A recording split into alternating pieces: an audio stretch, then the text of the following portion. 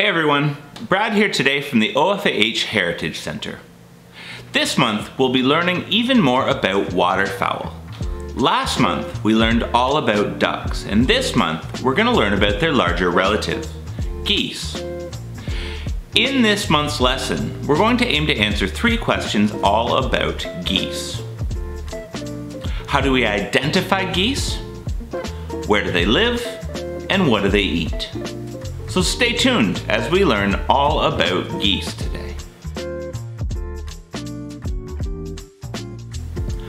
How do we identify geese? Geese are well adapted to life on land and in the water. Their webbed feet allow them to do very well in the water and to walk effectively on land as well. Their feathers contain specialized oils to help them shed water and stay dry, to maintain insulation and stay warm in cold temperatures. Geese are typically much larger than most duck species, usually at least double the size. They have a similar long body shape to ducks, but they do have much longer necks than ducks when we compare their body shapes. Geese do not display different traits from males to females the way that ducks do. But male geese do tend to be larger than females.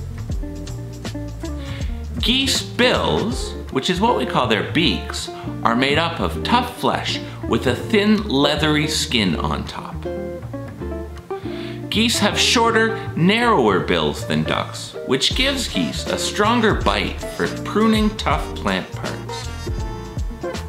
There are two species of geese which are most found in Ontario. They are the Canada goose and the snow goose. On top of these two species of geese, Ontario also sees up to nine other species during migrations. These species include the cackling goose, the brant, the Ross's goose, and the barnacle goose, among others. Canada geese are very common birds to see.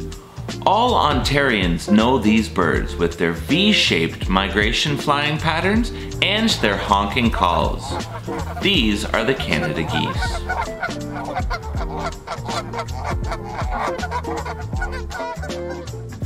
They have black heads with white cheek patches and long black necks. Their chests are gray to brown colored and they have dark brown backs, black rumps, and black tails. Canada geese also have black bills, legs, and feet. These are by far the most common types of geese found in Ontario. Snow geese are also common in certain regions.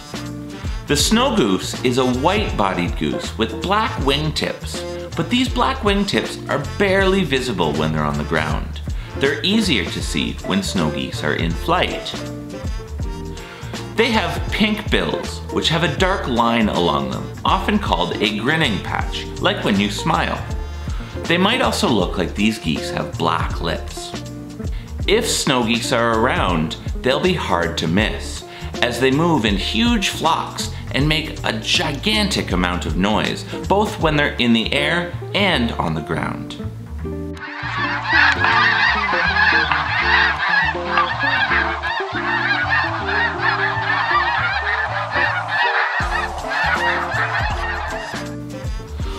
do they live?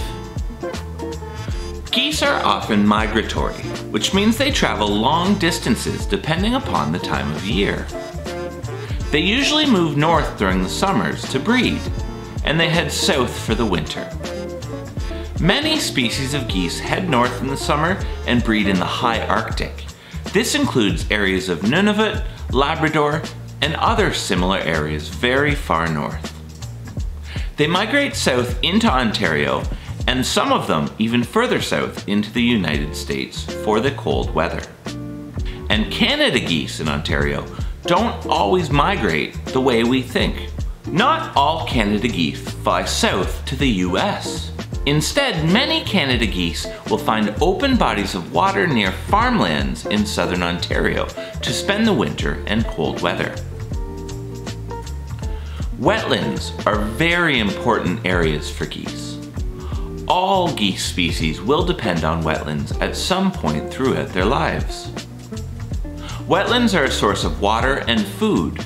They're also used as resting and shelter locations. And many social interactions occur in wetlands, such as breeding. Grasslands and farmlands are also critical habitat for geese. Many species depend on grasslands for nesting, as well as for feeding and raising their young, which we call goslings. Geese will use these areas until the goslings are old enough to fly and join in on their migrations. Geese will also use grasslands, fields, and farmers' crops as spots for feeding and resting along their migration routes. What do they eat? Geese are mainly herbivores, which means they eat plants. They eat mostly vegetation, seeds, grain, grasses, and roots. Some of the food they consume will be in wetlands, but geese get most of their food on land in grasslands, fields, parks, and more open areas like these. Sometimes geese do feed on things other than plants, which means they can be omnivores. This means they can consume both animal meat and plant material. Geese that are omnivores will sometimes be known to eat insects, crayfish, fish, and other meat, but this is not their main diet. I hope you've learned a lot about these much larger relatives to ducks. Now that you have, keep an eye out for these interesting waterfowl wherever you go. You just may be surprised where geese will show up. Thanks so much for watching. Be sure to like this video and comment below. Don't forget to check out the resources section on our webpage. There you'll find free printable resource material like mini lessons and activity pages to follow up the virtual lessons. And please subscribe to stay connected as we learn together outside the classroom.